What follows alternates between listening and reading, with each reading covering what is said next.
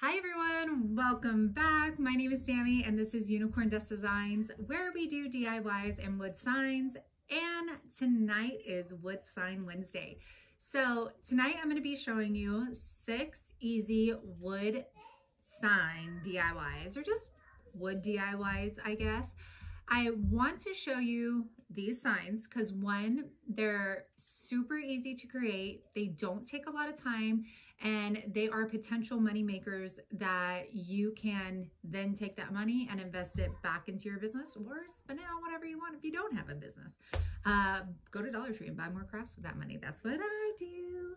Um, for these projects, you guys, a lot of the stuff that I'm going to be using was already pre-stained, pre-cut. It's just kind of wood that's been sitting down in my basement that I haven't used yet. So you won't see me go through the process of cutting, sanding, staining, all that. You guys have seen me do that.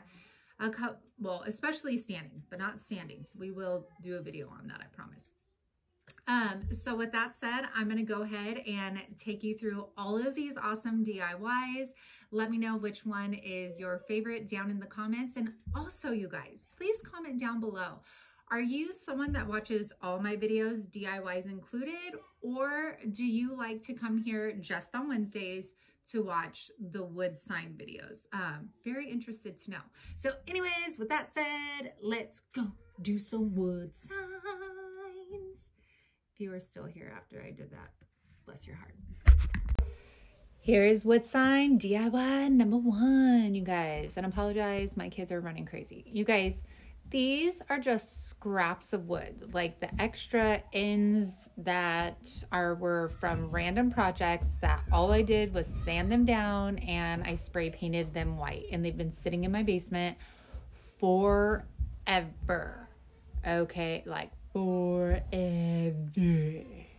That's how long, you guys. So these are just random sizes. I will make sure that I put all of the sizes down below. But again, these were just randomly cut. They were just random pieces. I cut all of my vinyl out of 651 Oracal Permanent Vinyl in matte black. The font is The Skinny and I will put all this information down below. I am just showing you slowly just one um, decal. You guys, so I picked this transfer paper up because uh, the Daily DIYer uses it and suggested it. So I was like, you know what, I'll buy a roll and see how it goes. At first, I wasn't liking it, but now I'm absolutely obsessed. Like it takes to the vinyl very nicely and it comes off so smoothly. No sticky residue. It does not take like you pulling it off to get it off the vinyl, you know. Um, I absolutely am obsessed with it now. Uh, for some pieces though, it is a little hard because um, it's not completely see-through. So if like you're going on white like this or something, you know. So I will make sure that I link it down in my Amazon store for you guys so you can check it out yourself. And it does come in a super big roll for the price of it. All right, so we are going to go ahead and we are going to do this for the remaining wood pieces. Now, you guys, these are so popular right now. Like you can go on Pinterest and see these everywhere on Etsy, see them everywhere. People are putting them in their tier trays. They are putting them on their coffee bars, on bookshelves as fillers. Um, so these are great to sell. I would probably, if I were like, I might sell because I don't have all the space I wish I had. That I would probably sell these on my Etsy page as a bundle. So, not separately. Um, I think you could get more money if they are sold as a bundle. And I feel like that would just be like a lot of work to sell these individually. If you were at a craft fair or something, though, that would be good to like either sell them individually or say like two for you know, eight bucks or you know what I'm saying. Like, I think that would be the way to go if you were doing it at a craft fair, but I would sell all of these together. So, all five of them for one price. So, there you go. Super cute. They stand up by themselves, even though they're a little uneven, but that's the whole thing. It's the rustic Rae Dunn look. Okay. DIY number two, you guys, I made so much money off of these signs during Mother's Day. Let me tell you. So, this, you guys, I will link above. I stained this wood with acrylic paint and water. Yes. Okay. And look at how beautiful that stain color is. Um, so I made my decal. I designed this myself, you guys, and I'm sorry, but I designed it a while ago and already welded it together. So I have no idea what the fonts are for this. Um, the flowers I got from the Dollar Tree in their Crafters Square section, they're beautiful paper sunflowers. So gorgeous. So I am putting a sawtooth hanger on this. This is not a stand-up sign. It is something you need to hang up. Sawtooth hangers, um, you can get online. I actually buy mine at Walmart. Um, I don't know why, but every time I order them online, they like I don't know. I don't know. Too too much to explain, but I prefer them I prefer getting them at Walmart.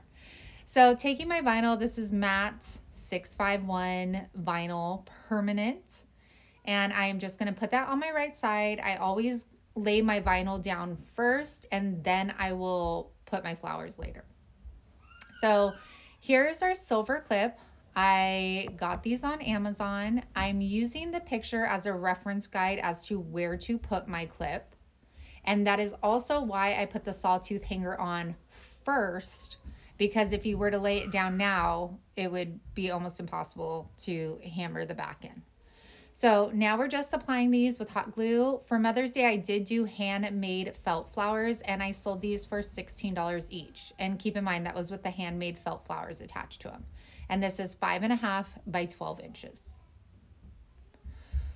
DIY number three. Look at how cute this turned out, you guys. So I don't know how big this sign is. I will definitely put it in comments. I'm just using twine from the Dollar Tree and I am probably putting like four knots all together just to have one big knot on my twine. And then I'm going to take my staple gun. I suggest using a staple gun versus a hot glue gun if you are selling these and having other people buy them just for added security. And then I'm just wrapping this around in a circle. No rhyme or reason for it, just kind of playing around with the position.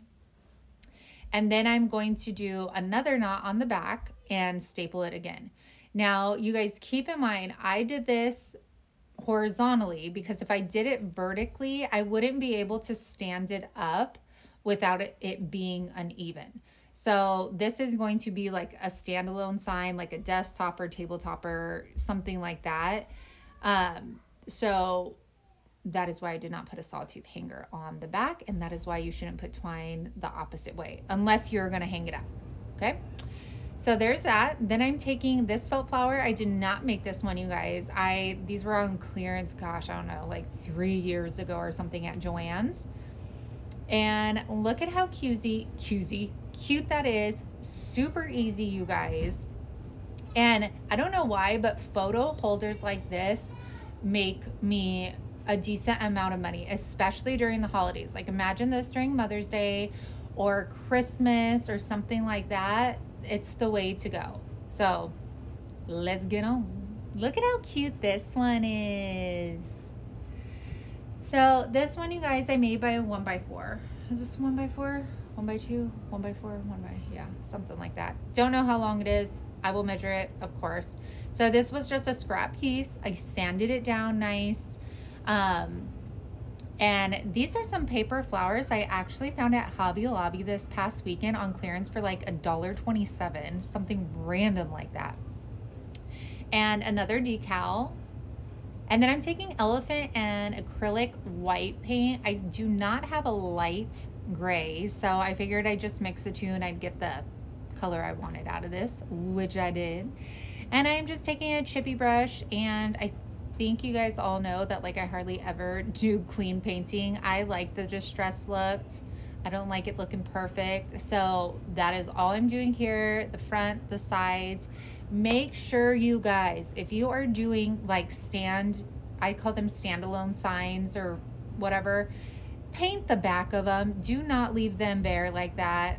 There is nothing worse. If I am somewhere shopping and I read that they don't finish the back of it, I don't buy it. I feel like it is just so unfinished. You know, like if I'm going to spend money and I'm going to buy a product, I want a finished looking product, especially if I'm gifting it to someone. So make sure you paint or stain the back of your items. So uh, again, I'm positioning my vinyl first, playing around with my florals here. Same thing, matte black, 6x1 vinyl. Your potential is endless. This was, uh, the font was Courier New. It's just, I think, standard in your um, design studio for Cameo. I'm gonna take that off and then, uh, you guess it, we're gonna hot glue those beautiful little flowers on. And these, you guys, again, like you can do so many different flowers with this, so many different quotes, color paints. I mean, you could just stain and then like distress it down. And these will make you good money. Like a dollar twenty-seven for those flowers, and that was the whole bundle. So this sign I could sell. I would I would personally sell for like eight dollars or something like that. Look at how cute. All right, this is my favorite. Look at that wood. Oh my gosh. okay, so we are taking all of these supplies. I'm back. My daughter just came downstairs and had a toy car stuck in her hair. Okay, you guys. So this piece of wood is five and a half by 12 and look at how beautiful this piece of wood is. Look at that gray. That's all natural. All I did was put um, weathered oak on this just to seal my piece of wood. But gosh, is that stunning. I was like, I am not staining that any kind of color. Like it needs, and I'm keeping this sign for sure. I am not selling this. I was like, I love the grain. So I designed the the vinyl cutout that I'm using here. This one will be available for purchase on my Etsy shop. I should, if you guys think I should do like a little kit for this on Etsy, like I could put the hanger on the back and then sell the piece of wood and I don't know if we should do paint or stain or I don't know you guys, never mind. Okay. So this is a little sticky bugger over here. So I had to be super careful. And we're just applying that like we do any other vinyl over here. Come on, any day now. I've been trying to like cut a square around my stencils so that I have like an exact cutout of the size of my wood sign, if that makes sense, to make it a little easier for positioning. Obviously, I didn't do that great of a job. Uh, all right. So we're taking that off and then I'm going to get some painter's tape and your girl, don't waste anything. So I didn't have any of the smaller size painter's tape, so I just cut the bigger one in half. Yep. Mm-hmm. Gotta save every little bit you can, let me tell ya. So, gonna cover that up because I am using the roller, and even if you don't use a roller and you're using a sponge or a makeup sponge or something, it's still just better to protect your wood because we all have mess ups, you know what I'm saying? And now I'm gonna use Rust-Oleum Linen White if you've watched my wood signs before, this is my favorite roller. I promise you guys, I have so many of you guys ask about my roller and I randomly picked this up before I started my YouTube channel, so I have no idea what it is, and I don't want to suggest a random one to you guys without knowing if it works or not. So next time I go to Menards, I promise I will get the information. And like I said, your girl don't waste nothing. So we are scooping that back up and we're putting it back in. All right. Dun, dun, dun. Dun, dun, dun, dun, dun, dun. Foxy lady. You know that you're a heartbreaker. Dun, dun, dun, dun, dun, dun. Y'all are welcome. I was supposed to be on American Idol, but, you know, I told them I had better things to do, so. Anyways, um, okay, let's keep weeding this. You guys do not gouge your wood when you are weeding. All you have to do is try to get a little corner, get it hooked onto your weeding tool, and then pull it up. Keep in mind, chalk paint has a tendency to like flake after it dries. So if you have those little pieces, get like a paintbrush or something and, you know, brush them away because if you try to do it with your finger, it'll probably smudge. All right. Now we are putting another sawtooth hanger on the back right in the middle. I use pliers with this. I think I just did this on another, well, I don't know. Um, do you guys love hearing me just talk to myself basically? I'm pretending I'm talking to you. Okay. Isn't that cute? Hey, you guys, what's up? I'm back. Surprise. Okay, you guys. I am super blessed to have this channel. I'm super blessed to have you awesome subscribers watching my channel. Don't know what I did with my hands right there. I felt like Ricky Bobby and Talladega Nights. Like, I don't know what to do with my hands. Anyways, I wanted to do something fun for you guys. I wanted to do a little intertwin giveaway for all of these boo spooky, these Halloween decals that I used over here um, in today's video. All you have to do is comment down below which one of the little baby signs was your favorite and make sure you hit that like button and subscribe. I will close this giveaway Sunday evening and then I will announce um, on Monday in the comments um, who the giveaway, no, should I do it in the comments? Because I feel like a lot of people don't read the comments. Um, you know what I will do? I will close it on Wednesday and I am going to actually post on Sunday um, a unboxing. So make sure you watch that and I will be announcing the winner in that. And all you'll have to do is email me, whoever the winner may be, and I will mail these off to you. All right, you guys? So thank you so much for watching. Thank you so much for subscribing. I appreciate you guys so very much and keep on watching the video. All right, y'all, this is going to be our last DIY. Super easy, super beautiful. Have no idea what size this is, but this is moss chalk paint. This is a floral ribbon I got from Hobby Lobby and a clothespin. That's it. So you guys, these are super easy and this is why I'm showing you these, okay? These are things that you can, this legit took me less than 10 minutes with my heat gun drying this. And it's like you can bust out so many different colors of these, or you could just stain them if you wanted to. You can plank wood them. Possibilities are endless. It doesn't take a lot of money and supplies. It doesn't take a lot of your time either. And they will bring you money if you price them right. These would be perfect for craft fairs, um, selling on your business page, your Etsy page, whatever it may be. And I know it's another photo holder, but I am not joking when I say I sell so many signs that hold photos in them. So keep that in mind. All right, right here, you guys, I am just putting it in a circle. It's about 14 inches long and I am going to just put a light layer of um, hot glue on there. We're to close that up. And then I am going to fold her in half to find my middle point, pinch her together in the middle, and then I'm to get my hot glue gun and put a little baby dab in the middle to kind of hold that bow together in its place. This, you guys, if you're to sell like a lot of them, make sure that you find a ribbon that you know is going to be in stock for a long time. There's nothing I hate more than like seeing something for sale and then them saying like, "Oh, well, I don't have that one available anymore." Um, cuz like this ribbon right here, I found on Marketplace. I'm pretty sure it's from Hobby Lobby, but like I would use like Buffalo Check or Burlap or something that you know you'll always have. That way you can list it and you'll know that you can always keep up with the demand of it.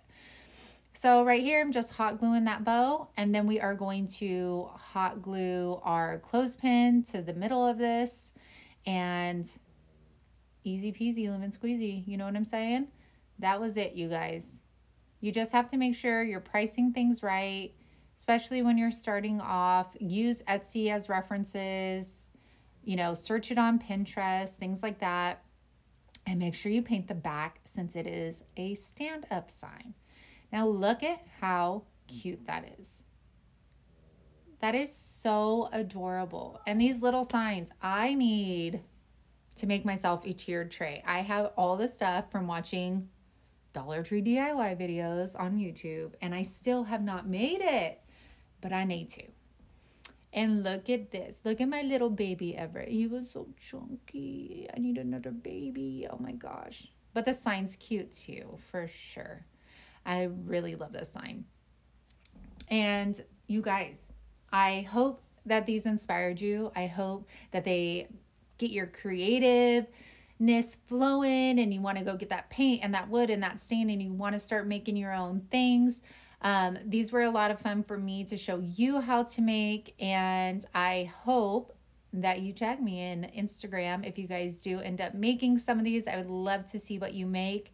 And with that said, you guys, I just want to say thank you again for being here. And if nobody told you today, you are worth it, you are awesome, and you are beautiful. Have a good one. Bye.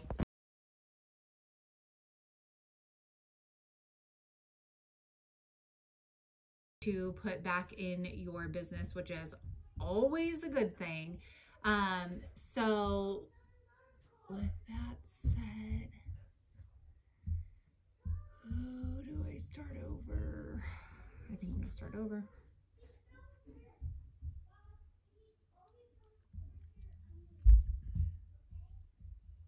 What are some wood use, which is nice because you're going to save money that way. Don't like this. Ugh. I need to like, what, what, what is it that I'm trying to do here? Any hardware store, okay? So with that said, you guys, we are going to hop in and we are going to start making these six super, no, I always have to kill it.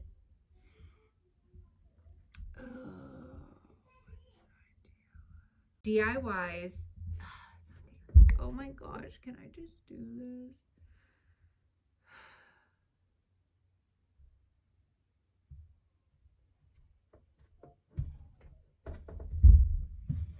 Hey you guys, welcome back. It's Sammy. This is Unicorn Dust Designs where we do DIYs and wood signs. Wood signs and DIYs. That's what we do at this channel. If you are still here after I did that, then I feel like I'm just like talking around and around and around myself.